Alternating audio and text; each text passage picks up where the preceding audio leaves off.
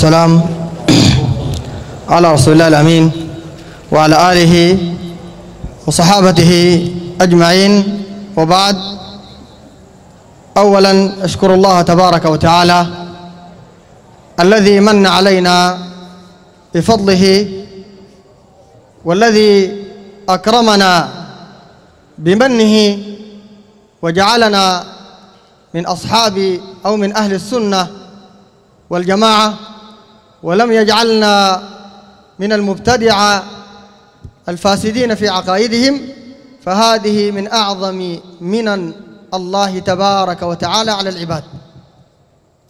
ثانيا أشكر آه الأخوين المتحدثين من قبلي الشيخ مزمل عوض فقيري والأستاذ شهاب عوض على ما قدما وأفادا وأجادا وأسأل الله تبارك وتعالى أن ينور بذلك وجهيهما يوم القيامة وأن يبارك فيهما وفي علمهما وأن يبارك في أبنائهما وأن يجعلهما ذخرا لهذه الأمة ولبلادنا وأن يجعلهما غصة في حلق أي مبتدع يلعب بدين الله تبارك وتعالى.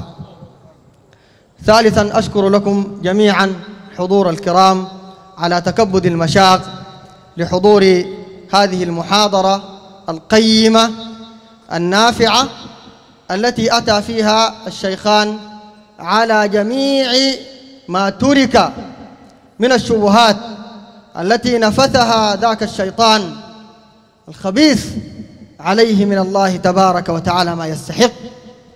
عليه وعلى كل من عاونه وكل من وقف بجانبه لإفساد العقائد وإضلال الناس ونشر الضلال والشر بين المسلمين.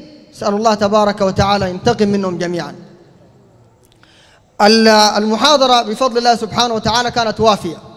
حتى أنا كاتب عندي الشبه الواردة في المناظرة المعلق عليها ذاتها من أولها لآخرة.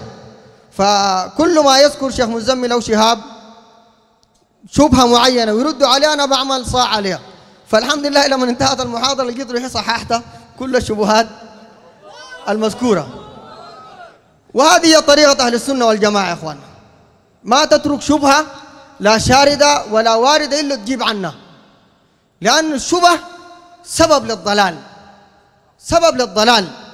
ولأن أهل البدع ليس لهم سلاح في إضلال المسلمين إلا الشبه. شبه شبه تكون شبهة مبنية على الكذب شبهة مبنية على الفهم المغلوط شبهة مبنية على تحريف الأقوال شبهة مبنية على دس الأقوال إلى آخره. الحمد لله سبحانه وتعالى المحاضرة كانت وافية وإن شاء الله أنا عندي تعليق ما يزيد عن أربعة خمسة دقائق إن شاء الله بالكثير. في أشياء قليلة جدا من باب الاستطراد فقط وليس هناك نقطة بفضل الله سبحانه وتعالى تحتاج إلى تعقب. أولا نقطة أعلق عليها المقدم بتاع البرنامج في المناظرة بينادي محمد المنتصر بيقول لي يا دكتور محمد المنتصر. ده ما دكتور. ده أنا ما بعرف له شهادة بتاعت أساس خليه دكتور. شهادة أساس أنا ما بعرفها له. وال محمد المنتصر براو حاول يفهم المذيع لكن المذيع ما فهمه. أنا العبد الضعيف خادم العلم الشريف. ضعيف ما ضعيف إنت ما دكتور. الهواري دكتور هاي دكتور. ما دي درجة علمية النهاية يا أخواننا. والزول من باب الإنصاف بده يزول حقه. داك دكتور أيوه دكتور. إنت لو دكتور في العناقريب بنقول لك دكتور ما ده حقك. كويس؟ لكن ما دكتور. ده من زريبة لزريبة. من تكية لتكية. واللقطة دي كل المعلومات والشبهات اللي عنده اللقطة دي. دي لقطة سايدي. لقطة بس. كتاب للكوثري. آه. المحاضرات بتاعت حامد داك. لأنه أنا لو ما أعرف الزول ده لو ما أعرف إنه أصلا هو عنده دكتورة ولا ما عنده. أنا لو سمعته بتكلم بعرفه ما دكتور. لأنه ما في دكتورة وأنا بعفص اللغة العربية بالصورة دي. أنا ما لاقاني فاعل منصوب ده من الله خلقني. فاعل منصوبه ده أنا ما لاقاني. الزول ده بينصب الفاعل.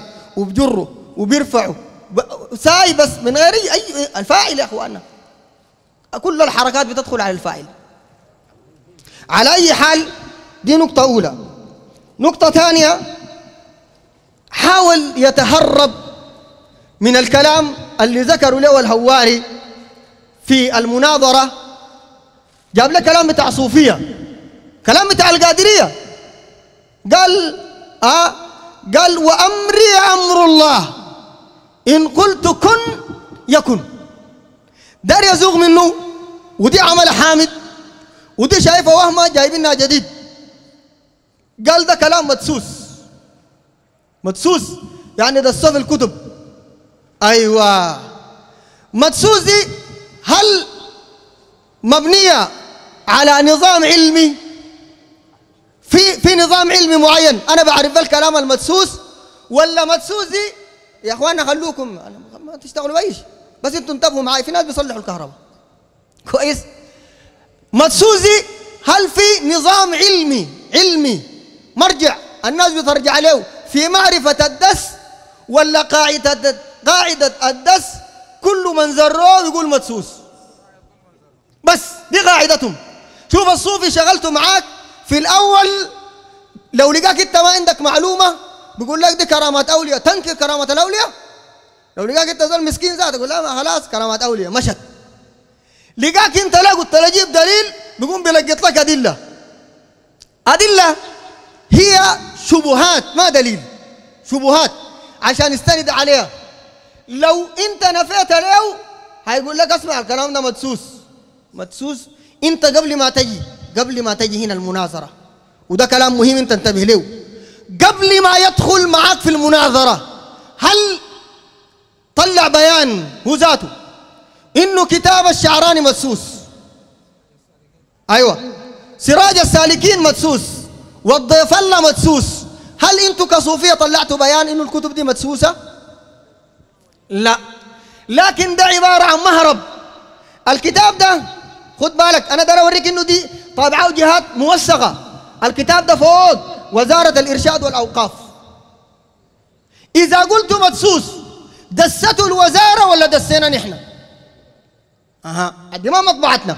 دي مطبعه آه ده في سوريا دمشق مش 2011 ووزارة الإرشاد والأوقاف قال الأمانة العامة للذكر والذاكرين. دي حقتهم صح؟ مش حمنتصر عضو فيها؟ طيب الكلام وقت مدسوس. انت قلت هناك وطلعت بيان نشرت إنه الكتب دي مدسوسة ولا لا؟ لكن عبارة عن مماحكات وحيل دار يمرق بها. فهمت؟ بر بيدين بالكتب دي ذاتها.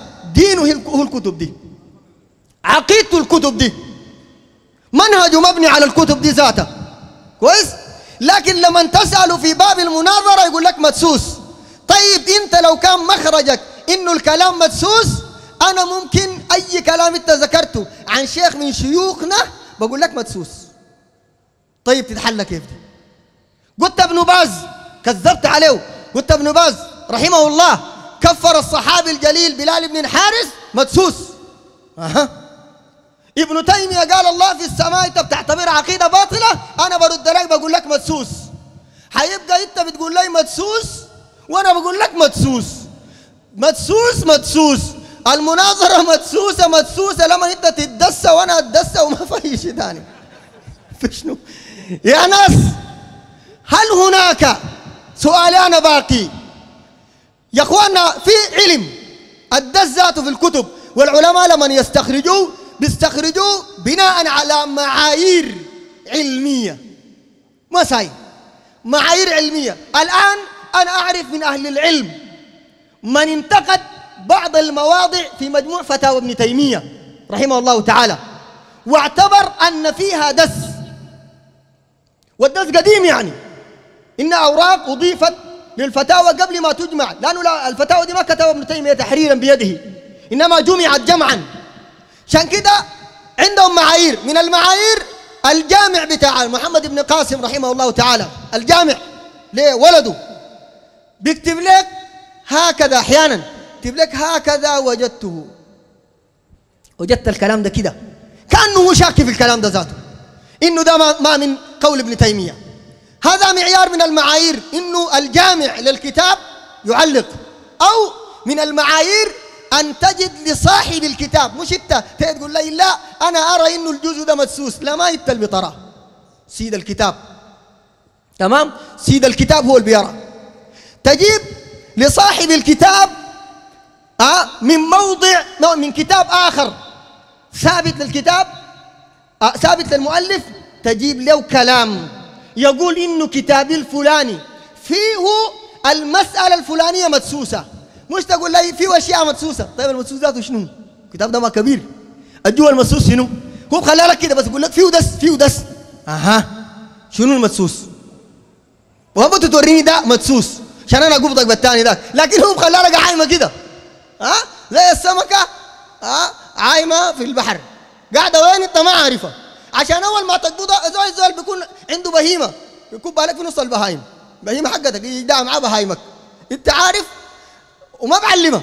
بهيمته أنا بعلمها. يعني لو مات ست بهايم من النص المريح ده ها تقول لا بهيمتك ماتت يقول لك لا لا ما ماتت بهيمتي قاعدة. لو بهيمته ذاتها ماتت بقول لك لا ما ماتت. ما هو معلم عليك ويني ما معرفه أنت؟ انت عارف لو مات البهايم تيته فضلت واحدة بقول لك دي حقتي أنا. نفس النظام ده. هم شا... من احتيالهم ما بحددوا لك حتى لو في مواضع مدسوسة ما بوريك يقول لك ده الموضع المدسوس. لا بخلي لك فاكه كده. عشان انت قبضته من هنا يقول لك أيوه بس يا هو المدسوس ذاته. قبضته من هنا يقول لك بس يا هو ده الموضع الثاني المدسوس. لا لا لا لا. ده عبارة عن مماحكة وما بتمشي علينا نحن. سوى اي واحد ثاني نقبضك والله لما تعرف حاجة. فهمت؟ ما بتمشي. لابد يكون في نظام علمي متقن ثابت. إنه صاحب الكتاب يقول لك الموضع الفلاني مدسوس. مش زي ما هو قال أيوه الشعراني قال في كتبي في كلام مدسوس. شنو؟ شنو؟ هو حديث النبي صلى الله عليه وسلم في أحاديث منها مدسوسة. ده السؤال والضاعون. فيه ولا ما في في حديث النبي صلى الله عليه وسلم. لكن هل العلماء والحفاظ قالوا فيها أحاديث مدسوسة وسكتوا على كده؟ ولا قال لك الحديث المدسوسة ده كذي وده وده وده؟ والدليل على ما ساي. ما بقولوا مدسوسة ساي. واحد يتكهن يقول لك الحديث ده لا. بنظام علمي. حتى المستشرقون من أعداء الإسلام قالوا ما وجد علم أدق من علم الحديث عند المسلمين. دقيق. انت عارف علم الحديث؟ لو أضفت كلمة واحدة بقبضوها. عارف المعلومة دي؟ كلمة واحدة. قد إن كتولك من نص الحديث كده. سيتي شلوها دي ما قال الرسول. والباقي قالوا. يا أخي لما كثرت الأحاديث الضعيفة سألوا عن عبد الرحمن بن مهدي من جلة العلماء. قيل له يا, يا ابن مهدي ما تقول في هذه الأحاديث؟ قال يعيش لها الجهابذة. من كتوة من كتوة كلمة كلمة.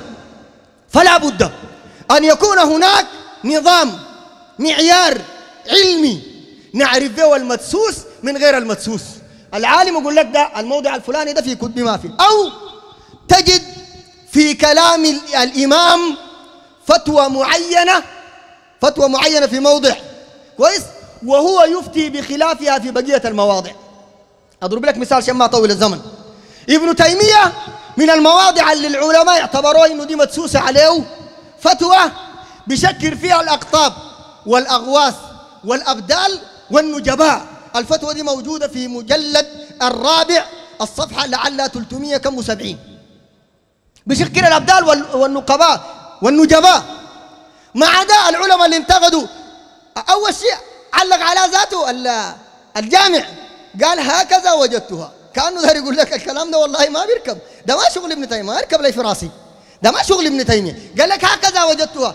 في موضع ثاني من المجلد الحداشر ابن تيمية يسئل عن الأقطاب والأغواث والأبدال وقال ما في حديث ولا أثر أصلا صحيح عن النبي صلى الله عليه وسلم ولا من كلام الصحابة ولا التابعين يدل على أنه في أغواث ولا أبدال والنجباء قال بل كلمة الغوث لا تطلق إلا على الله تبارك وتعالى فهو غياث المستغيثين. انت لما تجيب لي كلام زي ده قلت له الشعراني ها؟ أه؟ بينكر. الكرامة بتاعت الورد طلع على المنبر وصلى بهم عريان يل بينكرها؟ الكرامة دي مدسوسة؟ أيوه. جيب لي من كلام الشعراني ما ينكر هذه الكرامة. جيب من كتاب ثاني انت قال من خليك ساي؟ مدسوس. بالله. مدسوس ساي كده؟ جيب من كتاب للشعراني. يقول هذه الفتوى أو أي فتوى تبطل الكلام ده. عندك؟ ما عندك. ده ما بحلك كويس؟ طيب طبقات والضيف الله لما يتكلم عنه شوف الزول حاول يتخارج بكم مخرج. ويا ريت أنا لو أي واحد من أخواننا ده كان مناقش له بيعرفوا يقبضوه تمام. داير يزوق بكم زوقة؟ زي الزول الزارينه في حوش زي ده. جرب جاي للباب ده لقى مقفول. جرب ذاك لقى مقفول. جرب إحنا بنقفل لك إن شاء الله. أول حاجة والضيف الله داير يزوق منه كيف؟ قال كتاب والضيف الله ما فيه أسانيد. منقطع. منقطع. الحديث المنقطع أنتوا عندكم حكمه شنو؟ يؤخذ به وثابت ولا ما ثابت؟ ما ثابت المنقطع. قام المقدم سأله. والله سأله سؤال محترم جدا. قال لي اذا طبقات والضيف الله مدسوس. ما كده أنت قلت منقطع؟ معناه ما صحيح لا لا لا لا قال له. داري شوف له مخرج ثاني. تخيل. داري شوف الحته الباب ده ما يمينه ما لقى طريقة يمرق به داري يشوف له مرقة ثاني هناك. بقى بيقول لهم آه طب والضيف الله ذاته؟ قال ما مرق. من الحلفاية. مرق ما مرق إحنا ما عندنا شغلة. نحن عندنا الكتاب ده مرق. امرق والضيف الله ما امرق ده ما موضوعنا معك إحنا. بعد شوية دار يزوق زوغ نمرة ثلاثة. قال أي كرامة والضيف الله جابه عندها دليل. بس. ده الدارين إنه إحنا من قبل إذا أنت بتركز لكرامات والضيف الله بتركز لي أنا عندي لك واحدة بس. ده كله خليه. واحدة خليل الرومي بتعرفه؟ طقاه طقاه مريسة. أها المريسة دي كمان قال الشافعي؟ مريسة مريسة. شرب عديل وكمان ما شرب ساي. قال لي صفيها لي دايرة رايقة كده. آي شمات تقول تقول لي وهذا توسل وتوسل. لا لا كده خليني من ذاك. أنا بجيك لموضوع أي زول بيتفق معي في إنه الكلام ده حرام. مريسة كيف يا يا مسلمين؟ الشعب السوداني لو لقيت لك واحد هسه سكران بيطق الحيطة دي والحيطة دي قلت له اسمع في زول قال المريسه حلال بقول لك ده جنة فكت منه. السكران مقتنع إنه المريسه دي حرام بالاجماع خليل الرومي صفاها وشربها وشرب معه معزل لاي دنقلاوي شربها بيضة ناقلة معه تك. وقال دي من كراماته بعد ما يتصلح تمام خليل الرومي ها؟ أه؟ قال له امشي. الخادم بتاعتك قال له شيل الشجر بتلقى الخادم بتاعتك هناك. دي دليل شنو؟ جيب لي. أتحداك تقعد 88 سنة يا خادم العلم الشريف. جيب لي دليل على إنه المريسه بتجوز في الشريعة الإسلامية. مش بتجوز هاي خد بالك. تبقى كرامة لولي. مش بتجوز كرامة. لأنه إحنا عندنا ربنا بيكرم الولي بواحدة من اثنين. إما الطاعات ده في الأصل الطاعات. وبعد ذاك النوافل صح؟ قال فإذا أحببته ها؟ كنت سمعه الذي يسمع به وبصره. يعني ربنا بيكرمه بتين طاعات ونوافل. آه دي تلقى حلال من وين؟ فشوف قضية مدسوس. نحن دارين معيار علمي. ليه مدسوس؟ وما حد يجي يلعب عليك بيدي. طيب أنا أمشي سريع. آه آه حاول يدافع عنه في الكرامة بتاعت يتزوج يتزوج قال ستة. قال لك خمسته وسدسته ها أه؟ سبعته ولا ما قال سبعة؟ سبعت قال حتى تجمع بين الأختين؟ يعني سبعة. كده خليك من أخوات ولا ما أخوات؟ قال في مذهب الشافعي الأخوات لو كان من الإيمان قال بيجوز. في مذهب خليني من أخوات و... هن سبعة. سبعة سبعة. أخوات ما أخوات. قول واحدة من دنقلا والثانيه من بوركينا فاسو والرابعة من بنغلاديش. ما أخوات؟ تب سبعة. سبعة. ربنا قال كم؟ مثنى وثلاث ورباع أربعة. ولا ده بقى شيعي ولا شنو؟ الشيعي عندهم مثنى زائد ثلاث بقت كم؟ خمسة زائد رباع تسعة. قالوا الراجل يعرس تسعة. عملها زايد. آه يعني مثنى بلص كده اثنين بلص. زيادة يعني يا ناس.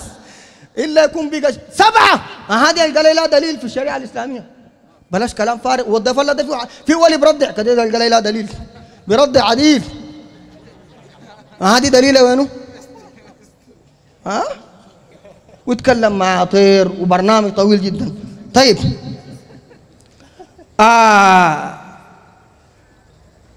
طيب بعدك حاول يبرز جد جدارته يعني وفراسته العلمية وداير يغني على المذيع من الأول كده يعني يحسم الشغل ده مع الهواري إنه ذول عنده علمية كده وداير ينتفض والروح ورد في القرآن؟ ودينا أربع آيات فيها الروح. جيب أربع آيات فيها الروح. وورينا ولا خمسة. خمسة آيات فيها الروح. وما معنى الروح؟ ما يعني شنو؟ ده ده سؤال هسه. وعلاقة السؤال ده بالمناظرة شنو؟ علاقته بموضوع الصوفية شنو؟ خمس آيات في الروح. أها قول نمرة واحد. الروح معناها الهدى والعلم. ربنا سبحانه وتعالى قال وكذلك أوحينا إليك روحا من أمرنا. القرآن ده ربنا سماه روح. يسألونك عن الروح سورة الإسراء. قل الروح من أمري ربي وما أوتيتم من العلم إلا ربنا قال سورة النحل قل نزله روح القدس. روح روح هنا معناه شنو؟ ده جبريل. روح القدس من ربك بالحق ليثبت الذين آمنوا وهدى وبشرى للمسلمين. ربنا سبحانه وتعالى قال تنزل الملائكة والروح فيها بإذن ربهم من كل أمر. ربنا قال والتي أحصنت فرجها فنفخنا فيها من روحنا. وجعلناها وابنها آية للعالمين. ربنا قال ومريم ابنة عمران التي أحصنت فرجها فنفخنا فيه من روحنا. ربنا سبحانه وتعالى قال يا عيسى ابن مريم اذكر نعمتي عليك وعلى والدتك إذ أيدتك بروحي القدس. تكلم الناس في المهد وكهلا. ها؟ لسه يا أهل الكتاب لا تغلوا في دينكم ولا تقولوا على الله إلا الحق. إنما المسيح عيسى ابن مريم رسول الله وكلمته ألقاها إلى مريم وروح منه وروح منه. أها؟ ديل كم؟ أزيدك تاني روح روح كثيرة. روح أنت. فالروح عندها معاني يا أخواننا. الروح جبريل الروح الوحي اللي ربنا سبحانه وتعالى نزله. الروح اللي ربنا نفث في بني آدم كلهم كلهم الروح ربنا شرف عيسى وروحا منه وروحا منه ربنا شرف عيسى ابن مريم عليه السلام بنسبة الروح إليه وروحا منه ويعني هسه ده كله علاقته بالصوفية شنو؟ شنو علاقته بالصوفية؟ الصوفية الروح ولا الصوفية تروح ولا الصوفية شنو؟ ما عندهم علاقة مع ده كله فدي عبارة عن شنو؟ ده ده عبارة عن إظهار القوة إظهار العضلات ده زي الزول اللي بيجي داخل المحل بتاعت الشكل أول حاجة يطق لك أقرب خشبة كده يكسرك ولا يشيل لك كرسي يضرب الوطا. خلي الجماعه كلهم منططين اثنين كده. نسمى جماعة خايفين. استعراض! ده ده استعراض ما عنده علاقة بالمناظرة. طيب. قال بعد ذاك آه داري يدافع عن القادري. القادري. قال أنا آه قال وإن قلت كن يكن. دار يدافع عنه لما الهواري رد عليه وجاب له أبيات قال أخطأ من شدة الفرح. جاب حديث الراحلة. الرجل اللي ضل راحلته فقد الراحلة بتاعته عليها الأكل بتاعه والشراب حقه وهو في بلد خلا. ما قدامه ولا وراه شيء ثاني وأكله وشرابه فوق الناقة بتاعته دي. نام له في شجرة الناقة فاتت. ضل راحلته. لما استيقظ يلا انتبه للعبارة اللي قالها. قال فرحا. هو دار يشكر ربنا ولا دار يكفر؟ دار يشكر الله. هو أصلا دار يشكر الله. كويس؟ قال اللهم أنت عبدي وأنا ربك. العبارة انقلبت منه. لاحظ عشان كده النبي صلى الله عليه وسلم ما قال كفر. انتبهوا فيها فيها المسألة دي فيها حتة دقيقة. ليه؟ لأنه العبارة دي ممكن تنقلب يا إخواننا. هي من العبارات اللي في اللسان ممكن تنقلب وخاصة لو كان الزول في درجة من الفرح ما قادر يستوعب إنه هو بيقول في شنو. قال اللهم أنت عبدي وأنا ربك. عشان كده النبي صلى الله عليه وسلم قال شنو؟ يقول لنا أربع كلمات يعني. انقلبت منه. عشان كده قال أخطأ. أخطأ لأنه هو دار يقول شنو أصلا؟ اللهم أنت ربي وأنا عبدك. شكر لله يعني. كويس؟ قال أخطأ من شدة الفرح. يعني فرحان لدرجة إنه ما ركز في العبارة اللي قالها بس. ما في شيء. أيوه. طيب الآن شيوخ الصوفيه الواحد بيجي يجيب له ورقة وقلم ودوايه وبيقعد. بمزاج برايق كده. رايق بيكون. بيكتب. بيكتب. بيألف كتاب وبيطلعه هل الكتاب ده جت من الغلاف للغلاف؟ أخطأ من شدة الفرح؟ من الغلاف للغلاف؟ الفرحة ما فكت منه؟ للغلاف اللي هناك؟ أتخيل معاي في واحد تاني بيطبع. الطابع برضه أخطأ من شدة الفرح ما تزالوا برضه كرج كرج طبعه كله. كويس؟ وفي مؤسسة ناشرة زي دي وزارة الإرشاد معقول وزارة الإرشاد؟ جد فرحانين. لدرجة إنه ما شافوا الكتاب فيه شنو؟ في طابعة مطبعة طبعته. أها. معاي؟ أخطأ برضه من شدة الفرح الطابع. البقرة البقرة. البيجي بيقرا الكتاب أخطأ من شدة الفرح. والشال الكتاب نظمه قصايد. والبيت جات تمغط به وتب شالت المايك ولحنته وغنت به في إذاعة الساهور. ها؟ قناة الساهور ولا إذاعة الكوثر. جت أخطأ من شدة الفرح. أدا اللي بيصدق لك منه منو اللي بيصدق لك كلام زي ده؟ إما ده استهبال ولعب. ده استهبال ولعب على الشريعة الإسلامية. فما في حاجة اسمها شنو؟ أخطأ وده عذر له. أخطأ أنت بتجي الدين بالمنهج بتاعه.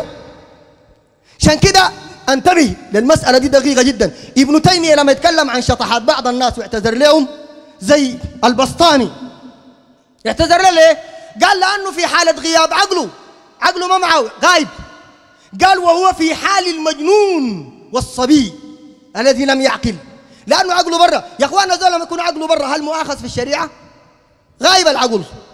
أيوة. يلا انتبه المسألة الدقيقة وين؟ ابن تيمية قال ولا يقال هذا الكلام في الحلاج. ليه ما بنقول أخطأ من شدة الفرح؟ قال لأن الحلاج كان يصنف الكتب. بيقعد بيروقة بيكتب. قال عشان كذا ما بيقال في حالة إغلاق ولا عقله كان ما في لأنه صنف الكتب وبيكتب. لذلك قال الحلاج كافر بإجماع المسلمين. وكل من دافع عن الحلاج فيما قتل فيه الحلاج فهو كافر باتفاق المسلمين. فهمت الفرق؟ عشان ما يقول لك شطح وما شطح. طيب. أنا ما داير أطول آخر حاجة يا اخوانا داير أقول رساله الرسالة مقسومة لجزئين. أولى للصوفية. المحاضرة دي وغيرها. من المحاضرات اللي تكلموا فيها أخواننا كافية تماما في بيان أن هذا المنهج منهج التصوف منهج خرب لا علاقة له بكتاب الله ولا بسنة النبي عليه الصلاة والسلام. الواجب عليهم جميعا أن يتوبوا إلى الله عز وجل. يتوبوا ويرجعوا إلى الله. وما يتمادوا.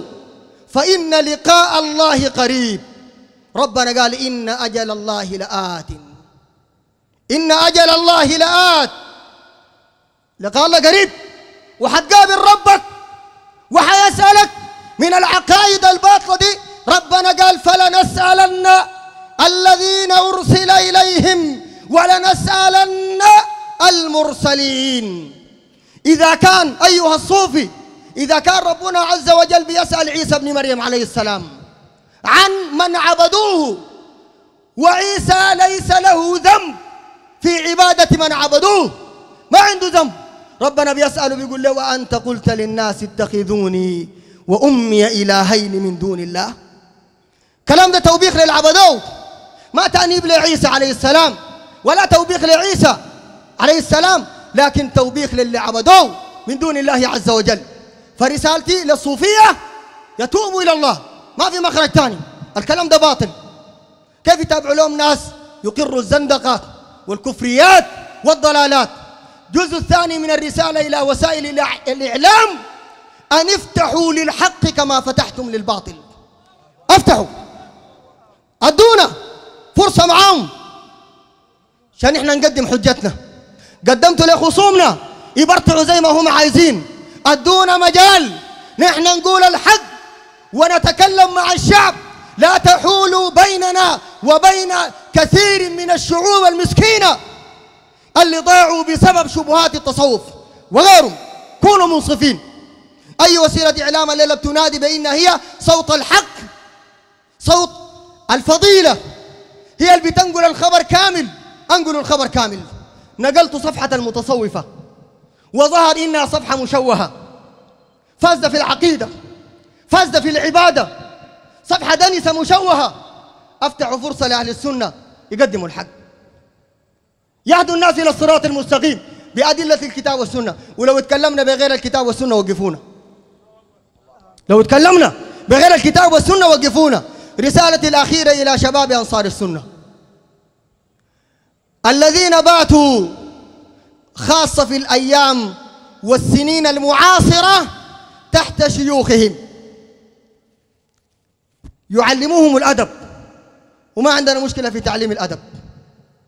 فهو من الإسلام وأصل من أصول ديننا الحنيف.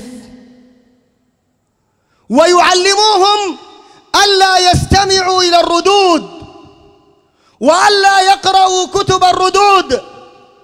وألا يجالسوا أو يستمعوا إلى العلماء الذين عرفوا بالردود على أهل البدع. فكانت النتيجة ما رأيتم. نتيجة ما رأيتم. والله لو ترك الإسلام على أمثال هؤلاء لضاع عند كثير من الناس. بجد والله. عشان كده دارت حرب ضد المنهج اللي إحنا بنحمله ما ضد أشخاصنا. حرب طويلة. شباب بتاع تجريح شباب بتاع الردود تخصصوا في الرد. ما عندهم شغلة غير الكلام في فلان وفلان. لكن لما جاءوا في مواجهة الخصوم ها يحتاجوا لمنوه اللي بيسموه مجرحاتية. وكما قيل في الليلة الظلماء يفتقد البدر. انت بتطرد الكديس من بيتك يومي. بالسكب العكاز بتطرده لكن أول ما تلقى الفيرانة كلنقروشك الداسين في الحفرة تحت بتقول يحلى الكديسي. ها؟ ممكن يكرنك أنت ذاته. ها؟ ونحن لا نشبه أنفسنا بهذا ولا بذاك ولا نضرب لأنفسنا أمثلة بهؤلاء. لكن نقول لهم أنتم ما جنيتوا علينا نحن. بفضل الله سبحانه وتعالى. ربنا فتح علينا عندنا منابر ونتكلم بقدر ما عندنا من قليل علم ونجتهد في نصرة كتاب الله وسنة النبي عليه الصلاة والسلام. ولكن يا أنصار السنة شيوخا وشبابا أنتوا ضريتوا شبابكم وضريتوا الأمة وهملتوا الناس اللي بيضعوكم في أنظارهم أنكم حماة العقيدة. ضعتوا في أبصارهم. لأنه ليه لما يجوا يشوفوا مناظر زي دي؟ وإنتوا الآن دفعتوا بفلذات أكبادكم. أجا في المناظرة ديل هم فلذات أكباد أنصار السنة. ديل الذروة عندهم. فلو كان هؤلاء هم فلذات الأكباد فأسفا على أنصار السنة. لكن أنا والله رسالتي إليهم ليست رسالة شامت والله يعلم. والله يعلم ما في القلوب. والله ما رسالة شامت. وإن شئنا في المحاضرة دي والأخوان القبالي اللي تكلموا شيخ مزمل شيخ شهاب اللي تكلموا قبالي كلهم والله كانوا اتصلوا علي الاثنين وقالوا يا أخي نحن نفرد هذه المحاضرة في الرد على محمد المنتصر الإزيرق لأنه شبهات شركية وأباطيل والمقام الآن يستحق التوجه إلى الشرك أولا. المقام يستحق كده. وإلا لو نحن دارين نتشفى أو ننتقم زي ما هم بيعتبروا إنه محاضراتنا تشفي وانتقام وتصيد لكان صيدنا للهواري أشياء خطيرة جدا. ولكن نحن جئنا هنا من باب أن نسد الباب الذي فتح من قبله دون أن نؤنبه أو نعيبه بذلك. دارين نسد الباب اللي هو فتحه لأن المقام في هذا الباب بالذات يستدعي أن يكون النقد والتوجه للشرك للشرك. لأنه ده ربنا ما بيغفره ربنا قال إن الله لا يغفر أن يشرك به ويغفر ما دون ذلك لمن يشاء. فرسالة الأنصار السنة اهتموا بالعقيدة. اهتموا بالعقيدة. مش يجي المتحدث باسمكم ها؟ أه؟ أول ما يفتحوا له الفرصة ويتكلم يقول لهم مشايخنا علمونا الأدب وكأنه جاي في صراع مع الصوفية في الأدب. أذكر هنا كلمة أختم بها للشيخ العلامة الإمام رحمه الله تعالى رحمة واسعة عبد الرحمن الوكيل كاتب كتاب هذه الصوفية.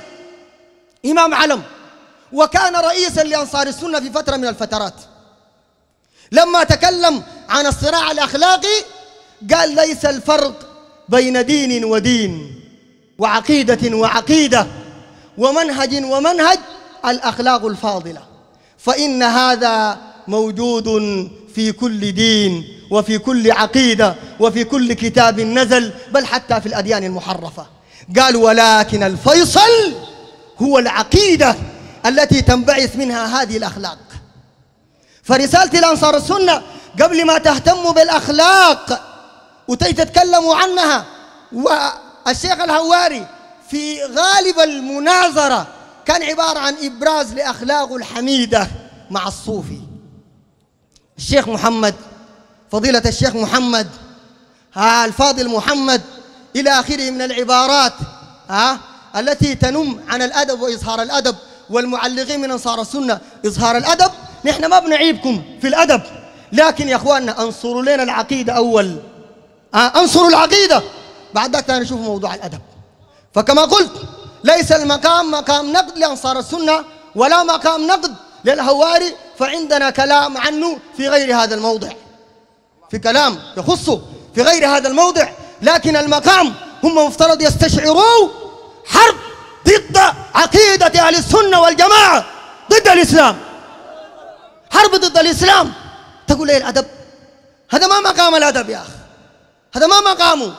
المقام مقام زجر لخصم افترى على دين محمد عليه الصلاة والسلام.